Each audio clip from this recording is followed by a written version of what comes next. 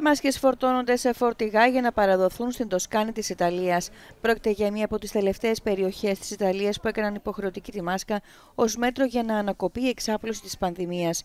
Ο Ιταλός Πρωθυπουργός του Ζεπε Κόντε ανακοίνωσε νέο πρόγραμμα τόνωσης της οικονομίας.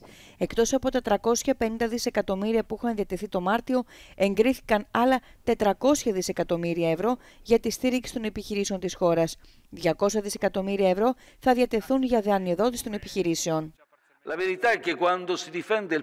Η αλήθεια είναι ότι όταν προστατεύεις τη χώρα σου δεν κάνεις υπολογισμούς. Είμαι πεπισμένος και το λέω αυτό με όλη τη συνέπεια που με διακρίνει, ότι η ιστορία είναι μαζί μας και στο τέλος θα δούμε την πορεία που θα πάρει η ιστορία. Στη Μαδρίτη, που είναι η σοβαρότερα πληττόμενη περιοχή της Ισπανίας, τα συναισθήματα είναι ανάμεικτα για τα περιοριστικά μέτρα.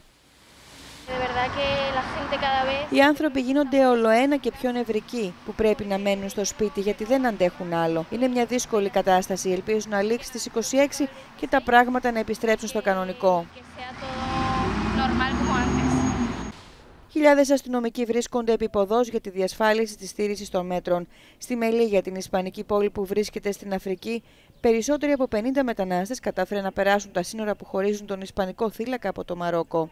Στη Γαλλία, από τη Δευτέρα σημειώθηκαν 833 θάνατοι, ο Υπουργός Υγείας Ολιβιέ Βεράν ανακοίνωσε την έναρξη μιας τεράστιας επιχείρησης ανείχνευσης του κορονοϊού στα γεροκομεία και άλλα κέντρα φροντίδας που έχουν πληγεί σφόδρα, καταγράφοντας τουλάχιστον 2.417 θανάτους από την αρχή της πανδημίας.